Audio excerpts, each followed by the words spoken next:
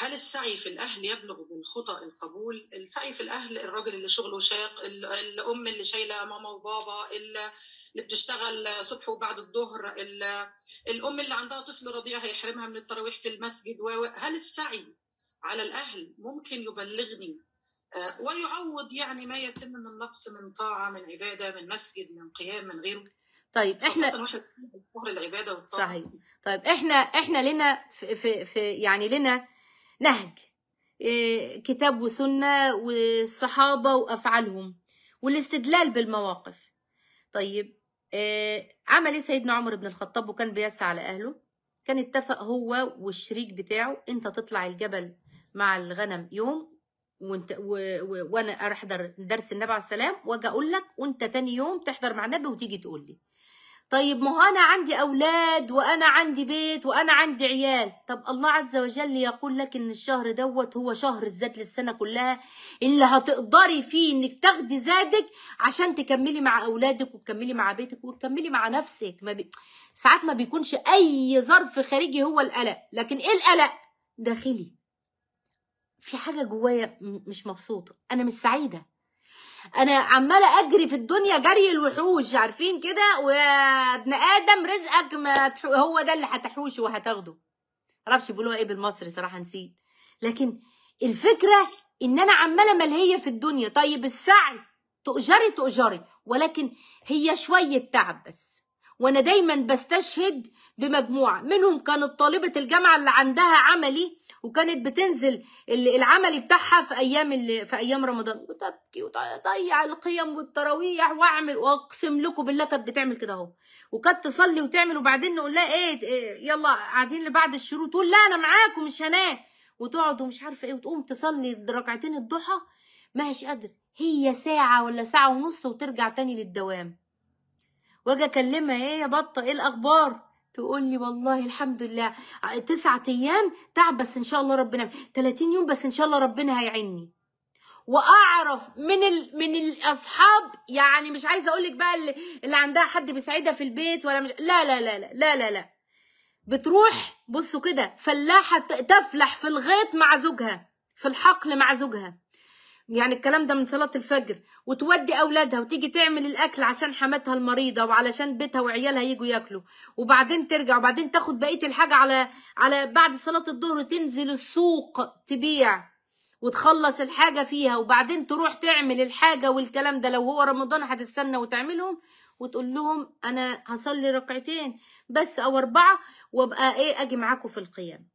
والله وكنت أشوف تشقق إيديها ومدى مدى بس لو هي عملت كده اهو من التعب أقول ده هي واخدة ثواب مضاعف مضاعف علينا. يلا إحنا قاعدين وبنقول بنروح وبنيجي. الصحابة كانوا يأتوا الفراش حبوا أنا مش عايزة معلش سامحوني.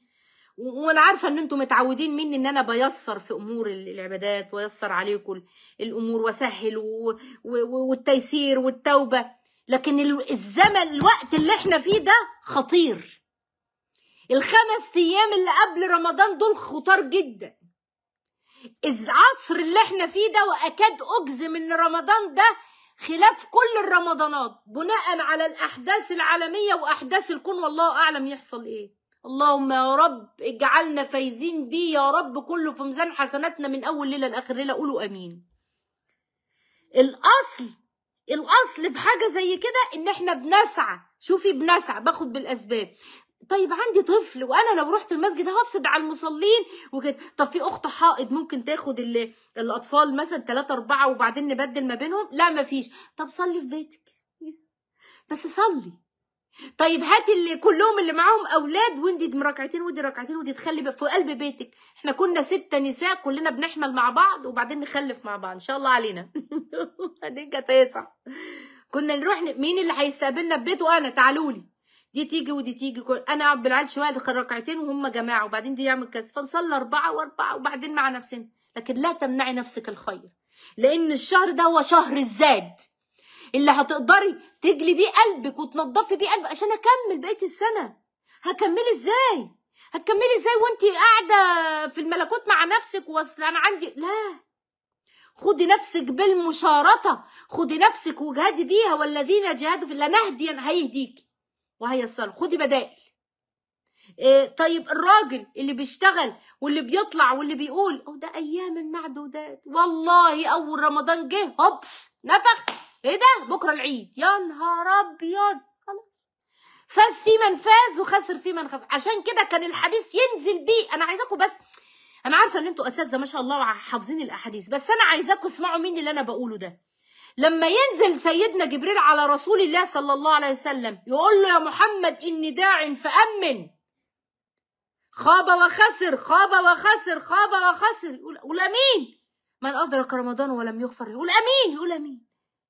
يا نهار مين اللي امن النبي عليه الصلاه والسلام امن على اللي لا لا لا لا لا لا لا لا لا لا الكون كله بيتغير في رمضان نواميس الكون كلها بتتغير في رمضان ابواب الجنه كلها مفتوحه وابواب النار موصوفه عشان ما ربنا يهيئ الكون بحاجات ما هيش على العاده في الكون علشانك علشانك وعلشان ان الله سبحانه وتعالى يسخر لك بس اعبدي واجي أنا اخد ذريعه أنا عارفه انه صعب ما بقولكوش انه سهل والله صعب.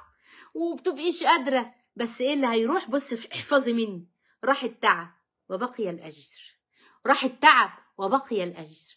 راح النوم وكذا. حبة خلاص. يا ما هننام كتير في القبر ويا ما هنعمل. لكن خدي بالأسباب واسعي للبدائل. رقم واحد.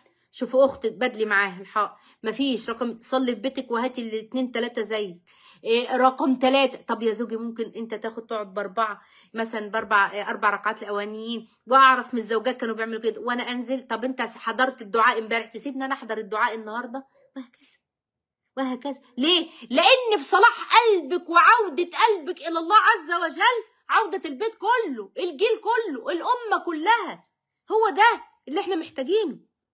ده اللي إحنا محتاجينه. لكن أجي بقى ما شاء الله ما شاء الله علينا.